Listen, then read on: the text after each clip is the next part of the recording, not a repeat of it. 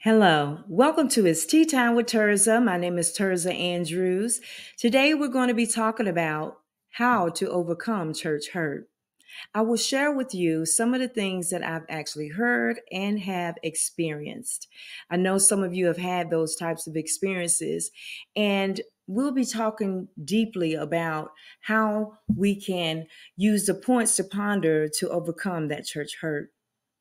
Many times we go into a church looking for clarity, understanding. We're looking for someone to guide us into our spiritual lives or through our spiritual lives. We're looking to overcome our adversities and we want to be able to have a family relationship with those that are connected to us in our church but oftentimes it doesn't work out that way. So I want you to stay tuned and we're going to talk about how to overcome church hurt. And we'll be right back in just a moment.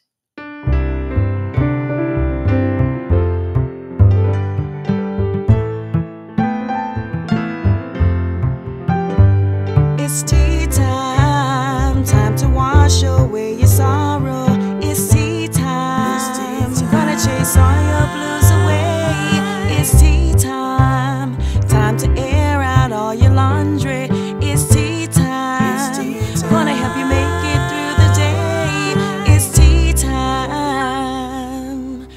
you say, girl? Okay, so welcome back to It's Tea Time with Tirzah. My name is Tirzah V. Andrews, and it is my pleasure to be here with you today. Today, we're going to be talking about how to overcome church hurt. It can be difficult, it can be painful, it can be embarrassing, it could be any of those things. Being embarrassed, having to have your life exposed in front of a crowd of people without your permission, many things. According to Barna statistics, 28% of adults have stopped attending church. That equals out to about 65 million people. Now, if you add the children into that, that's a lot. And we wonder why. Why is this happening? Oftentimes, we think it's just, you know, the service is boring or, you know, you're not really getting much out of it. But most importantly, it's the leadership.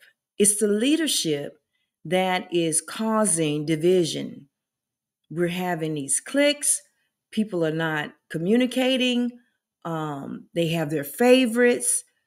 Um, it could be any of those things. Now, I personally had the experience of being a part of a what I thought was an amazing ministry. And the reason why I thought it was so amazing is because I had the opportunity to be free, be free to to pray and to do the things that you know I thought church should have. Churches should have people interceding for them. And at the end of the day, um, we all need prayer, but many of us don't know how to actually pray.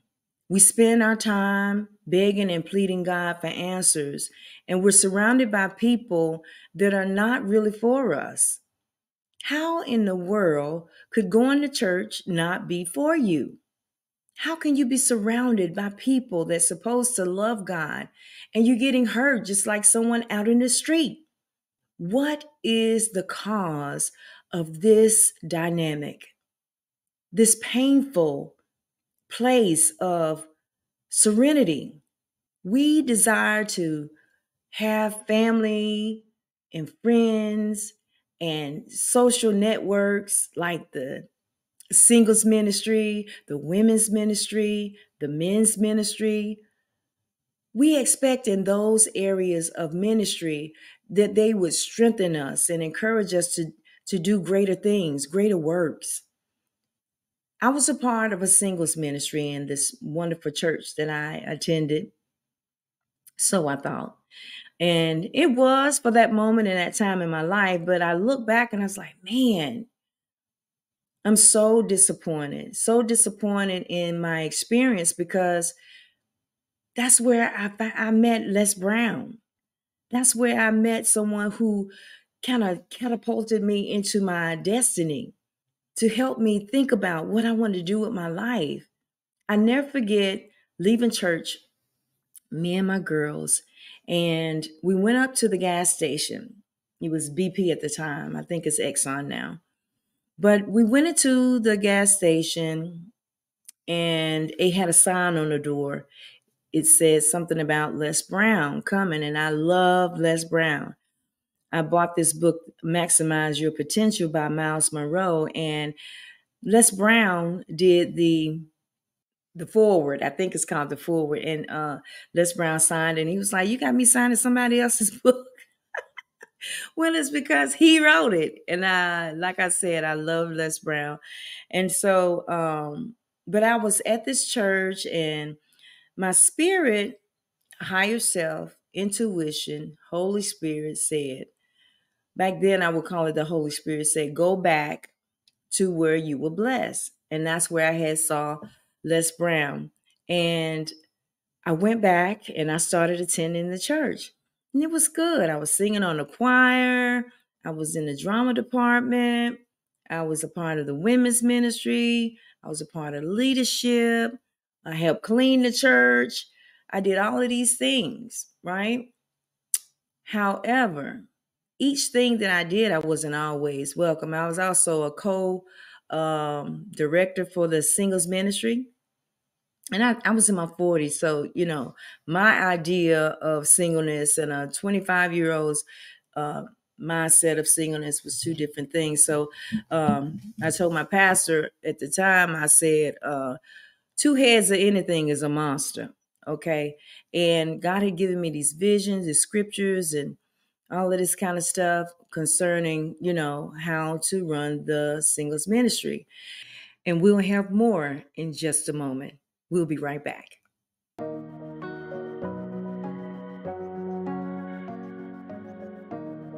Hi, my name is Tirzah V. Andrews. I wanted to take a moment to share with you a moment in time with Miss Sarah Louise Nichols. I was doing ministry as I do every day. Um, I was dropping off a client and I saw Miss Nichols sitting at the bus stop. And I heard in my spirit to go back and pick up Miss Sarah. Now, this has happened to me several times, but I'm inspired today to share this moment in time while it's fresh. When I heard in my spirit to go back and pick up Miss Sarah, I went back and picked up Miss Sarah and I told her that I'm a Lyft driver and I wanted to offer her a ride for free. The Lord sure do answer prayer. I said, Well, good. How you doing? Had a conversation. The old saying where you say, uh, You can't make me doubt him, I know too much about him. I grew up with that. I was raised Christian, and we got to begin to do the things that we hear However, Miss Sarah said that as a homeless woman, I think she said by a police officer, and he split her head right down the middle. And she said she cried out to God to heal her. And she said that God sealed her skull up, her head up, sealed it up. So, to my recollection, she didn't go to the hospital. She cried out to God, and God heard her. She now lives in a senior citizen building right around the corner from me. And I thank God for her testimony because I could just feel the energy from her telling telling that story. I can feel what she was feeling just for a moment. And I thank God for that. So somebody out there, you might be wondering, how do I get my prayers answered? Do it with sincerity and thank God for it in advance. God bless you. I look forward to seeing you again soon. Peace. Hello, welcome back to It's Tea Time with Tirzah. We're having an amazing conversation today about church hurt. Hopefully, you see yourself in this episode and you'll be able to overcome your church hurt. And I don't know if it's jealousy or whatever set in, but the young lady said that I came up with everything and I told the announcements lady that, you know, don't announce this until we get feedback from the other directors. So I shared it with her, sent it in an email, and said, if you have any changes you want to to make, you know, that would be fine. And uh, she never sent me anything. And then the announcement went through without even, you know, me confirming um, what was to be said. And so, at any rate, um, they had a meeting, and at the meeting, uh, we was discussing, you know, me taking over. I didn't know it, but I just had an idea. I implemented it, and I sent it. I sent it forward.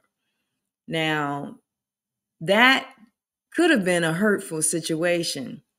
I resigned from leadership. I told them I'm I'm able to to follow. You know, I don't have to be in leadership. I could just follow. I could just be a part of the group because I was in the singles ministry.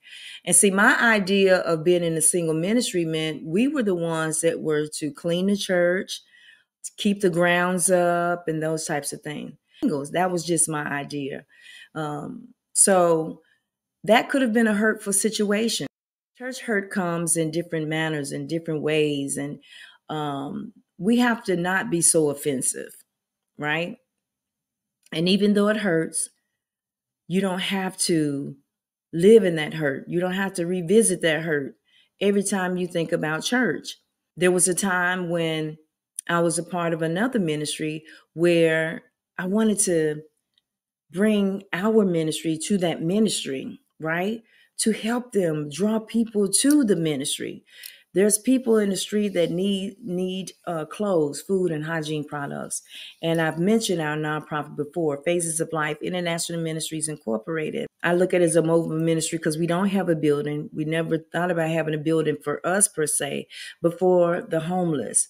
So I wanted to bring our ministry to this ministry to be able to help them draw people to the church, doing things for the church. And for whatever reason, I just felt like, you know, that'd be a great idea. That would be a great idea to be able to um, bring the food, the clothes, and the hygiene products to the church. You know, people can come there, they'll hear about what we're doing in the community, so on and so forth.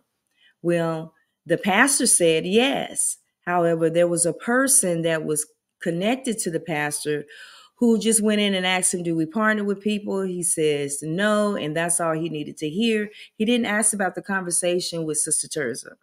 He didn't find out. Uh, it wasn't like we was trying to uh, uh, do anything by putting our name on the church or nothing like that. It was just us working out of their church. It don't have to be partnership. And partnership just simply means you work together to make something happen, right? And that's how me and my husband was looking at it. And for whatever reason, it didn't go down like that. You know, we thought it was a good idea, and however, it wasn't.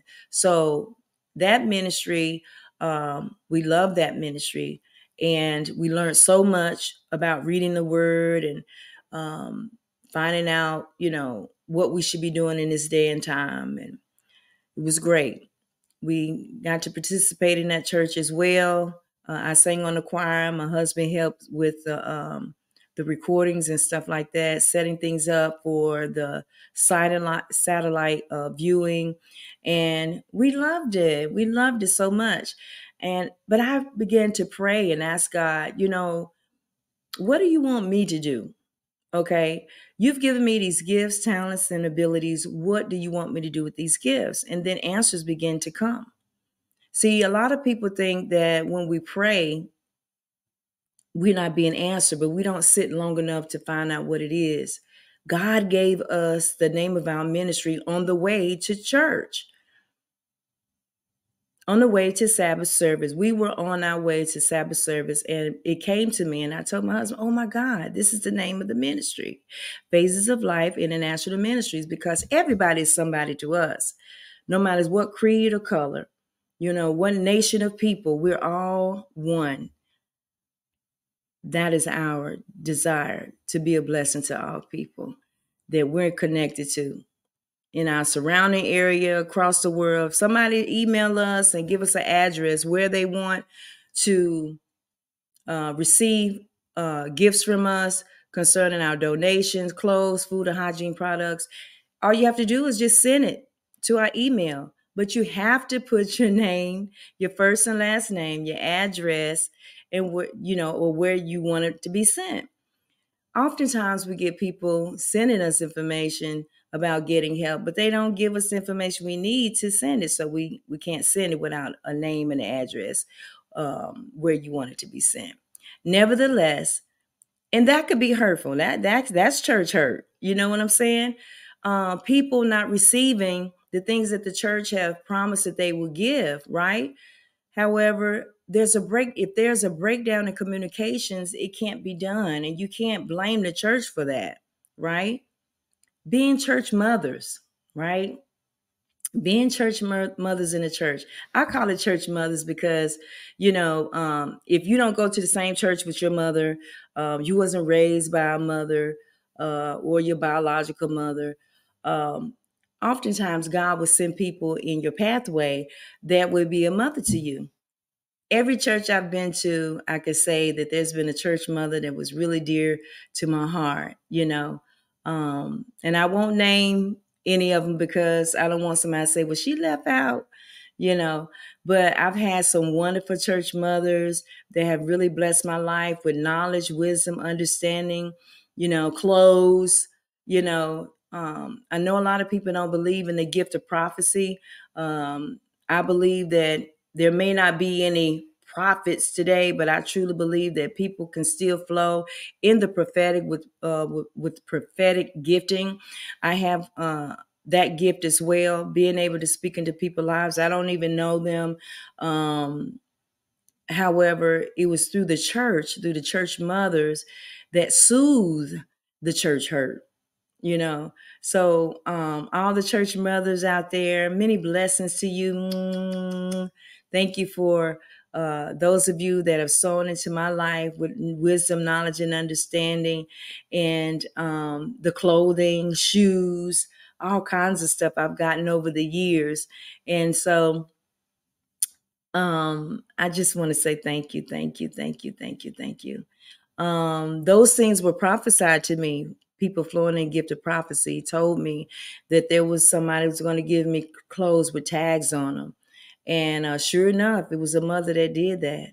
And so um, I want to also say that oftentimes when we go through life, some people come in your life for a moment, a season, or a lifetime. Everybody's not going to stay in your life. You know what I'm saying? And you got to welcome to, them to move on with what God has for them. And oftentimes we don't understand it. It was like, well, you're on the right track. And, you know, then you get off track, right? But who says it's off track if they're following the the the unctioning of the Holy Spirit? You know, spirit of discernment. You know, the the law of intention is at work. You know, uh, intuition is at work. God consciousness and Christ consciousness is at work, and you're following that. You know, if God is in everything and everybody, right? Then the God in you, the light of God that's in you, you're able to create and co-create yourself right? You're able to do the things that God has called you to. Some people are fine with going to work, going to church, and go home. I tried to be in that lane for many years, but I have a calling on my life. i never forget my mother, Janie. I'll tell her name, Janie Ruth um, Steele. She told um, one of my kids' fathers that, you know, this girl got a call in her life and if you're not here for the right reason, you need to move on out of the way. And I thank her for that because oftentimes we don't have mm, the voice to say the things that we desire to say. I now today I do, but back then I didn't. I was in my twenties, and um, God used my mother that day, and I thank God for that because oftentimes you have dreams and visions that you know, you have to do them. And oftentimes, church, church folk can block that blessing. Why? Because you're in a box. It's like you, you, you, you, you here, right? And you're thinking that this is the way, the only way. You understand? And because religion has made it so that that certain things and certain belief systems is the only way, what about what God has given you? What about the gifts and the talents that God has given you that you're not using? You remember the story about the talent, right? And that and they took one of them took that one talent they had and buried it. Oh my goodness. Why are you going to bury your talent because of church? No, you listen, church is just as much on the outside of the building as it is on the inside. It's that thing that when you wake up, you still got to do it.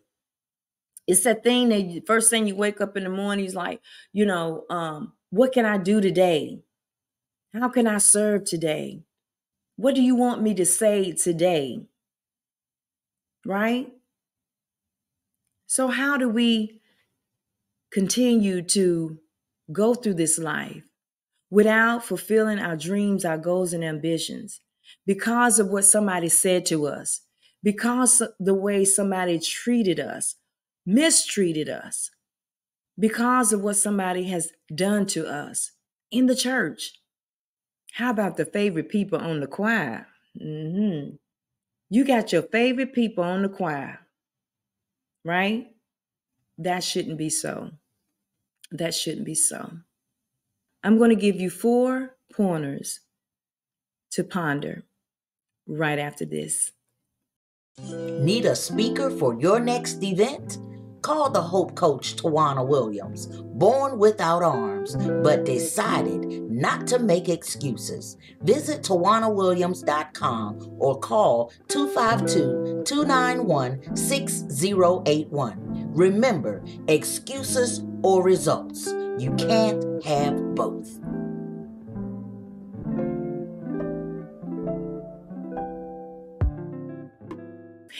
Okay, welcome back to It's Tea Time with Tirzah. I'm going to give you four pointers. Here we go. Key number one forgive.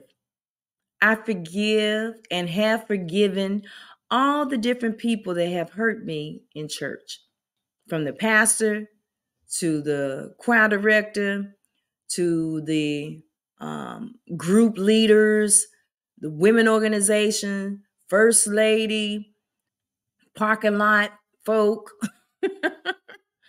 um, all the different ones, the children's church leaders, anything. The mothers in the church, they may have said something because sometimes our wisdom is not wise wisdom. Okay. So um some church ladies uh have hurt you based on some of the things that they have said and you know and i'm only saying this because it's all types of church hurt it's over 65 million people that have not attended service or been inside of a church for any activity and that's only what about 28% so uh key number two make amends. Make amends with those people. Shout out to one church lady uh first lady who apologized to me um publicly. And i want to say publicly that i received that forgiveness even though i've talked to her and told her you know when you've wronged somebody, it's your responsibility to forgive. You want to be forgiven, right? Matthews 6 14 and 15. So uh, forgive.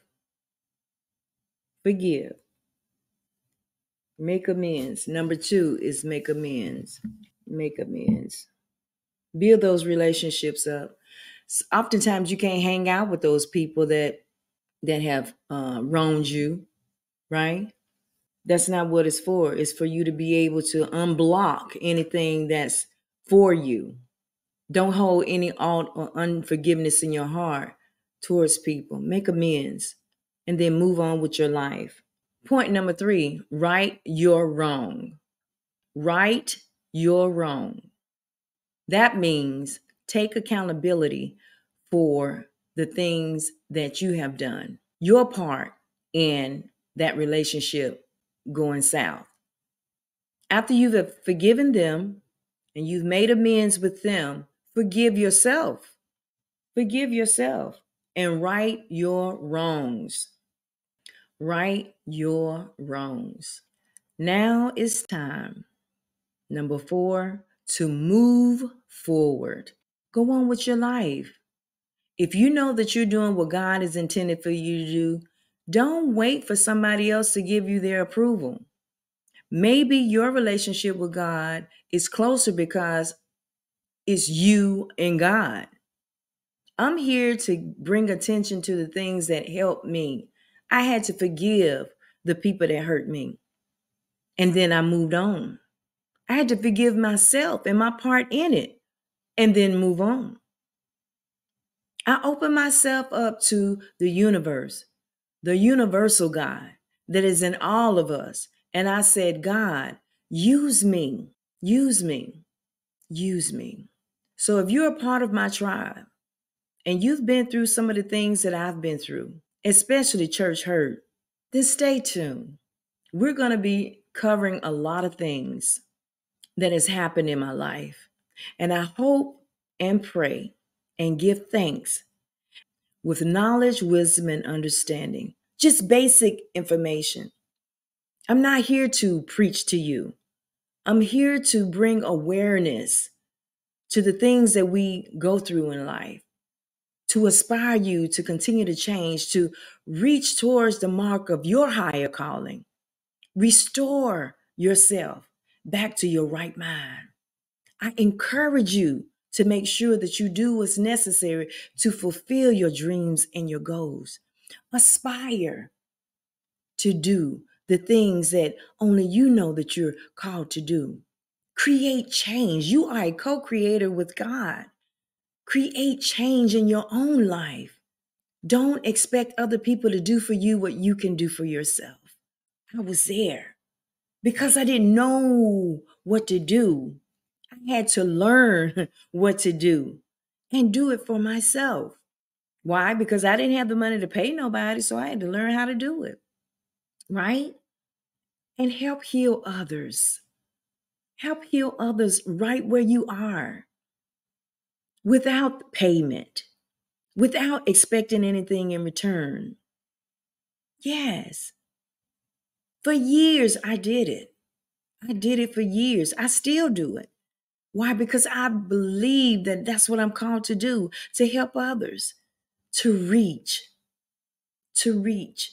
So I thank you so much for giving me the opportunity to share with you those four points to forgive, to amend, to right your wrongs, and to move forward. I thank you so much for joining me here with this tea time with Tirzah. My name is Tirzah Andrews. I look forward to seeing you next time. And remember, you are the key to someone else's blessing. Take care.